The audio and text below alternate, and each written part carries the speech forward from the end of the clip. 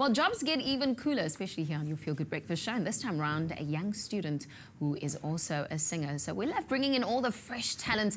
And here she is, Jerain Jafta, making waves, not just in 2014, but all the other time. Welcome to the show. Hi, thank you so much for having me. It's Only a pleasure. to be here. Now, I, I want to say it's good to have you in Cape Town because you're originally from Namibia. I am, yes. Well, I was born there. I always like make a point to let people know that it's Namibian born, but it's Cape Town raised. So, Ah, so yeah. Cape Town raised. You're a singer, but you're also a student. So tell me about how, as Fresh Talent, you're a singer working on your album now in 2014, but you're also studying. Just tell I me a little bit about you. Yeah, I am studying. I think it's important to like have your like a side hustle. I want to say a main, but obviously like I love music, so yeah. But um, I'm studying a law degree and it's going. I mean, I like something to just fall back on, I guess. I actually love this, so. I think So most singers just- do that, especially if they Yeah. if they know that they they new or fresh at it. Uh, This is not the first time you're doing this. You started singing in the church, like most of us. Yeah, Tell me I about that. so. I think I was about eight when I started. I think, um, let me just see. Yeah, my dad's kind of a church guy. He's very active in the church. So that was the first time I actually sang, and people were like kind of shocked. I think I've always wanted to sing. I just didn't tell anyone. So then one day I just kind of rocked up and did it, and it was fun. And I always knew like I wanted to do it. So yeah, it's been fun ever since, I guess. Even when I was a DJ, I realized that most of the songs that I play has your voice on it. Now, if, if, if she had to stand up, she's a tiny person in a very, very, with a very big voice.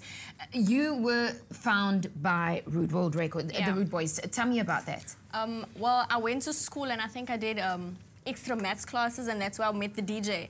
so that was like in grade 10. And then years later, when I was on varsity, he kind of called me up and said, Listen, I'm working on this project. You want to like be a part of it? Um, not knowing that anything was going to happen. We were just in studio messing. We just wrote something to a beat. And I think a month after that, it was playing on the radio. So I was like, okay, I'm going to stay here and just like work on this. And yeah, I mean, I'm like really grateful to have found them again, I guess. And then that's when the old Rude World record thing started, and I've been with them ever since, and it's a good team, so I'm having fun. There is an album this year, and I want to know all about it. I mean, you. This is one of the things that you're working on, right? Yeah, it's it's important to me. I never say when it's coming out because you know how projects go, but it's definitely something I'm working towards, and we've got all our material sorted. So yeah, it's just kind of building a following so that people can actually appreciate the music and they actually want the music, you know. So yeah, yeah, we're just doing that.